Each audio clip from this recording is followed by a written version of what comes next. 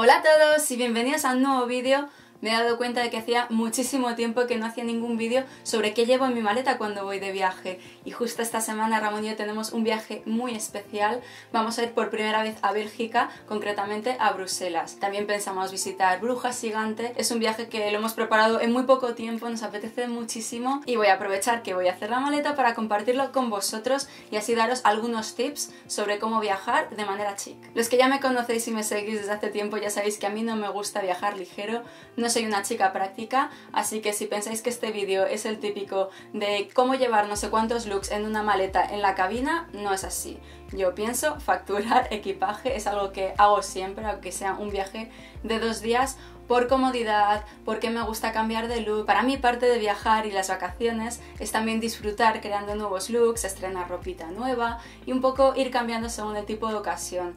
Por eso a mí me gusta siempre llevar todo lo que puedo en la maleta. Así que os resumo un poco. El viaje va a ser de tres noches y cuatro días completos. Vamos a decir que es un viaje de otoño-invierno, así que hay que llevar ropa de abrigo, probablemente también nos llueva, así que tenemos que estar preparados y yo creo que voy a optar por los típicos modelos cebolla. Ahora os explico en qué consisten. Por lo tanto voy a utilizar dos maletas. Una es esta, que es la que voy a facturar, que es la típica maleta grande que se abre por dos, durita, con ruedas, porque como vamos a viajar muchos, a mí me gustan este tipo de maletas que tienen cuatro ruedas, que simplemente empujándolas llevan solas yo creo que ya están en el pasado las típicas que las ibas arrastrando, o sea, son muy incómodas. Sigo teniendo ese tipo de maletas, pero solamente para viajes por carretera. Y de equipaje de mano voy a llevar esta maleta de cabina, que es la que suelo utilizar en los fines de semana. Esta es mi maleta favorita, me la regaló Ramón cuando estaba a punto de dar a luz para llevarla al hospital cuando tuvimos a Monchito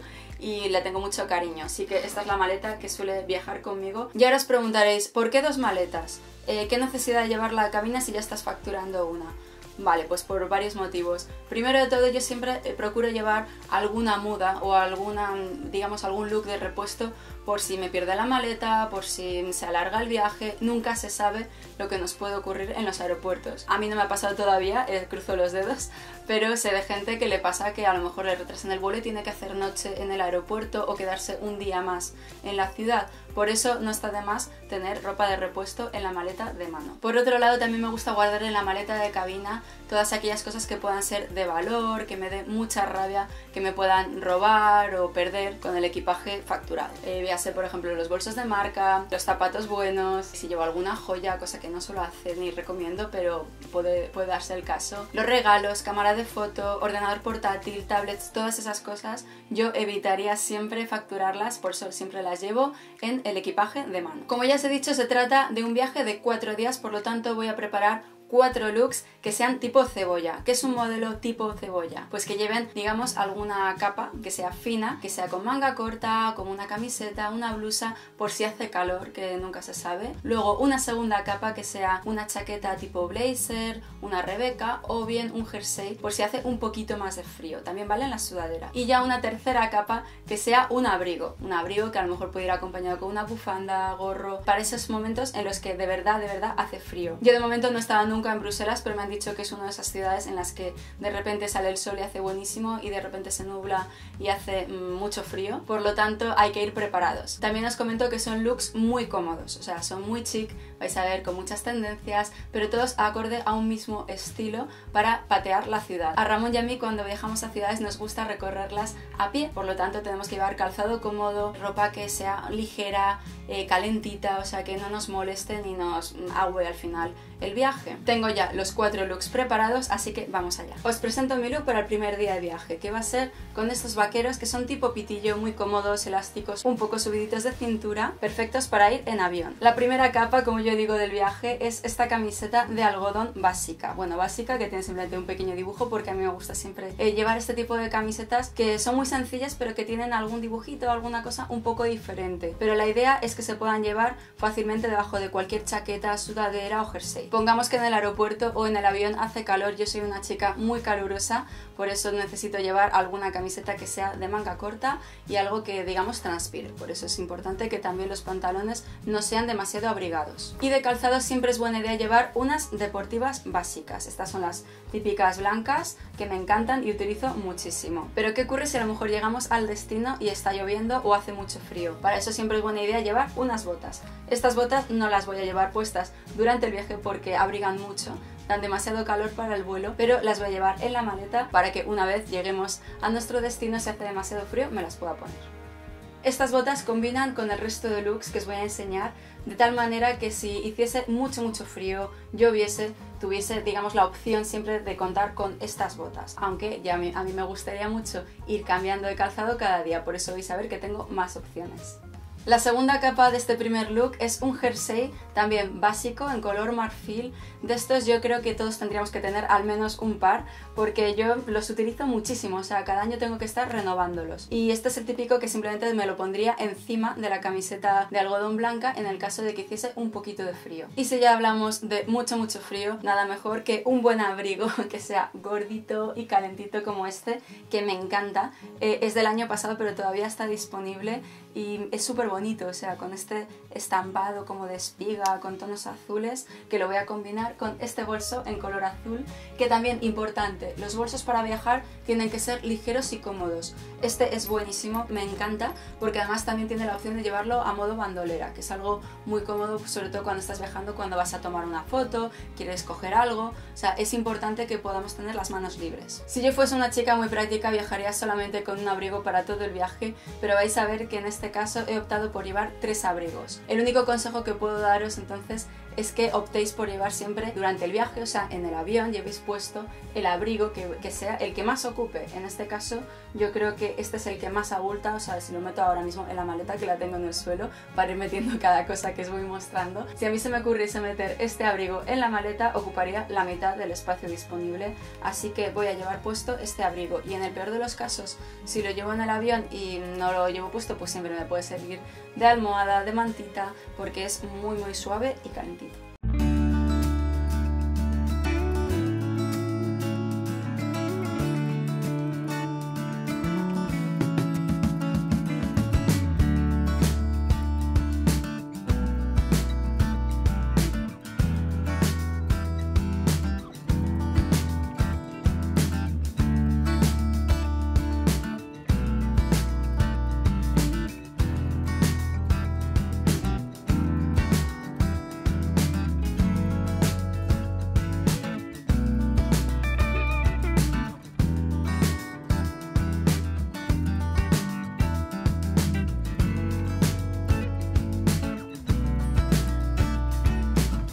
Pasamos al segundo look, esta vez con pantalones tipo leggings, que son lo más cómodo que hay para viajar.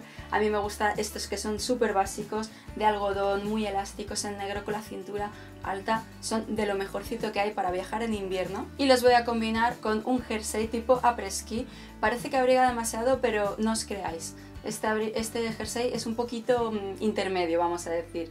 Yo creo que el anterior que os he enseñado abriga mucho más, pero es súper suave, es calentito y me gusta bastante además por el dibujo, o sea, es precioso. De este tipo de jerseys tengo muchísimos. Cambiando de calzado voy a optar por unas deportivas a todo color, en rojo, a juego con los detalles del jersey pero si pongamos que hiciese demasiado frío o que lloviese, tendría la opción de las otras botas que os he enseñado antes, las que son tipo après-ski. Para este look de abrigo voy a contar con un abrigo súper largo de estos tipo maxi, que es color beige, es un básico de mi armario que ya tiene no sé cuántos años, me lo he puesto muchísimas veces, es otro de los básicos que yo digo que siempre hay que tener en nuestro fondo de armario porque se puede utilizar una y otra vez. Es de corte como estilo masculino, muy sencillo, un poco minimalista incluso, pero me gusta bastante porque es como llevar una gran manta encima. Y de accesorios también he escogido esta gorra con visera en color rojo que es muy bonita, me la puse también en el viaje a Edimburgo y este bolso que es el típico también, que te cabe de todo, que lleva, es tipo bandolera, perfecto para ir de viaje.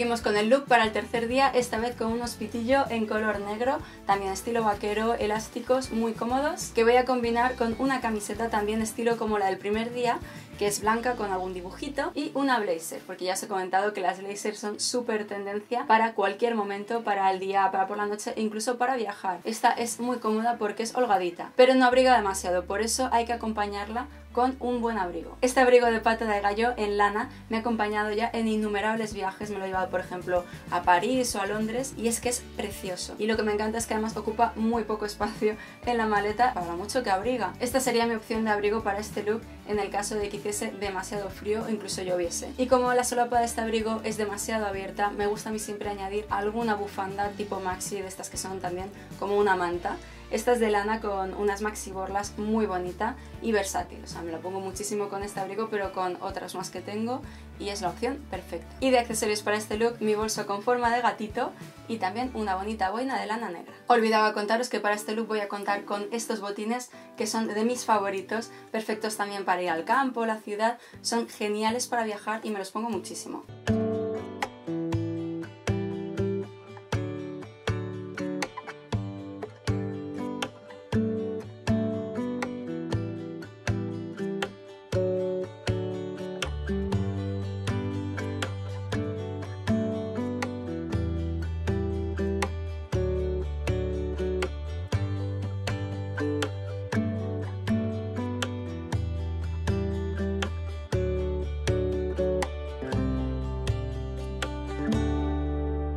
Este ya es el cuarto y último look para hacer turismo en la ciudad con los típicos vaqueros básicos, eh, también pitillo, que voy a llevar con una blusa también muy básica. Os digo que si de estas tenéis más de una, no está de más añadir siempre de sobra a la maleta. Y blazer en tweed con cuadros a todo color. Lo bueno de este look es que se puede combinar con otras piezas que ya os hemos mostrado. De calzado a mí me gustaría llevar las zapatillas rojo, pero si hiciese mucho frío también podría combinarlo con los botines de tachuelas o también con las botas de pelo. Para este look voy a volver a utilizar el maxi abrigo beige que es súper versátil y el bolso negro que también se puede combinar con todo.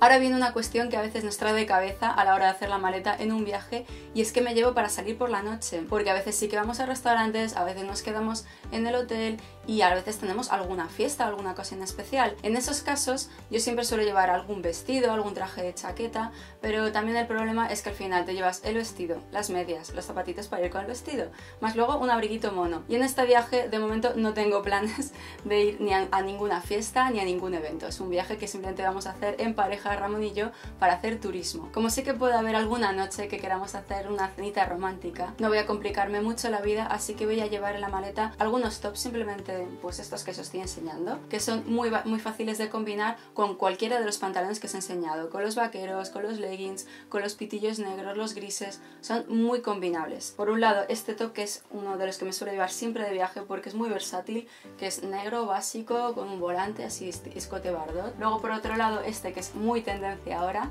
con las, con las mangas de organza transparentes, es muy muy glamuroso, me encanta cómo queda. Y nunca está de más llevar alguna prenda con estampado animal, que también queda muy bien con negro, con beige, con todas las prendas que ya os he enseñado que llevo en la maleta. Pero claro, para una cena romántica no vamos a ir en deportivas ni con botas de senderismo, así que he optado por llevar estos botines que son muy cómodos y tienen el tacón gordito.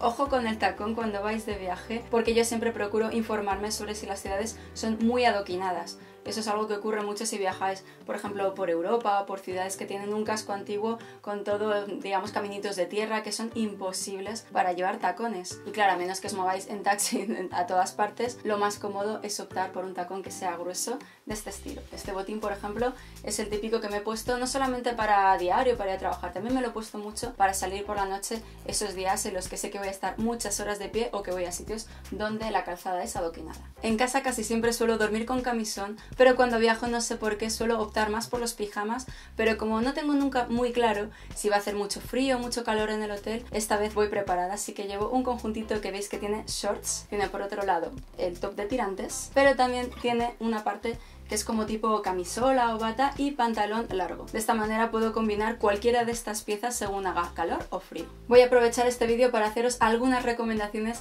que nunca pueden faltar en mi maleta de viaje, como por ejemplo un cojín cervical. Son súper, súper prácticos. Alguna vez se me olvidado llevarlo y es que me muero cuando veo en el, en el avión a la gente que va con estos cojines y no tengo uno porque me muero de envidia. Son buenísimos. Este más me gusta porque se puede abrochar y es como que apenas tienes que mover el cuello. Y si tenéis de cervicales como yo, es que es un básico. Para mí los viajes pueden ser muy traumáticos. Ha habido veces que he llegado al hotel con ataques de cervicales, con dolor de cabeza horrible y me tengo que ir derechita a la cama con ibuprofeno hasta que se me pasa. Y muchas veces todo eso se puede evitar simplemente con un buen cojín cervical. Otra cosa sin la que soy incapaz de salir de casa, aunque sea una sola noche, es mi plancha para el cabello. Esta me gusta mucho, es de Madame Paris. La verdad es que ya hice un vídeo en el que os enseñaba cómo me peinaba el cabello con esta plancha y es maravillosa. Además siempre la suelo llevar en el equipaje mano porque como me la pierdan me muero. Algo que no puede faltar en ninguno de mis viajes es la cámara de fotos. En esta ocasión hemos pensado Ramón y yo que él se va a ocupar del vídeo porque va a hacer vlog y yo voy a hacer las fotos con esta pequeña cámara. Es el modelo Fujifilm X100F. Es una cámara muy buena, pequeñita, perfecta para llevar en el bolso. Ya sabéis que aquí el experto en fotografía y vídeo es Ramón, así que si tenéis alguna duda sobre qué equipo llevar a vuestros viajes, si queréis hacer fotos, vídeo, ya sabéis que Ramón está encantado de resolver vuestras dudas y podéis seguirle en su canal Ramón Colubi, donde seguro seguramente también veréis dentro de poco algunos vídeos sobre nuestro viaje. Otros aparatitos muy obvios pero que no pueden faltar tampoco en mis viajes son una power bank porque nunca sabemos lo que nos va a durar la batería del móvil y por otro lado unos buenos auriculares. Eh, ahora mismo se llevan mucho los típicos, los típicos AirPods y todos estos que no tienen ni cables ni nada, pero yo soy todavía muy clasicona, a mí me gustan los auriculares grandes que te invaden toda la oreja y que sean blanditos y también un poco que te aíslan de los ruidos que hay sobre todo en los aviones porque nunca se sabe quién te puede tocar al lado. Así que estos son los que utilizo desde hace muchísimo tiempo, están un poquito sucios y tal porque también los llevo bastante al gimnasio, pero son de verdad indispensables, sobre todo si quiero escuchar música o ver alguna serie mientras estamos en el vuelo. Bueno, y eso ha sido todo, espero que os haya gustado este vídeo y os dé buenas ideas si vais a hacer algún viaje que también sea en otoño, invierno a una ciudad y penséis facturar maleta. Durante el viaje y a la vuelta seguramente publiquemos muchas fotos de este viaje con estos looks que esperamos os gusten y ya sabéis que si queréis saber de dónde es cualquier cosa no tenéis más que preguntar aquí en los comentarios. Yo voy a procurar dejar los enlaces de todas las cosas que estén disponibles, las prendas, mis recomendaciones para viajar, que espero de verdad os vengan bien. Ya sabéis que podéis seguirme también en mi blog marijesusgarnica.com, en mi Instagram arroba marijesusgarnica, en mi perfil de 21 Buttons y en Twitter, Facebook, Pinterest, donde queráis. Si os ha gustado este vídeo no olvidéis darle a like y suscribiros para no perderos el siguiente. Nos vemos pronto.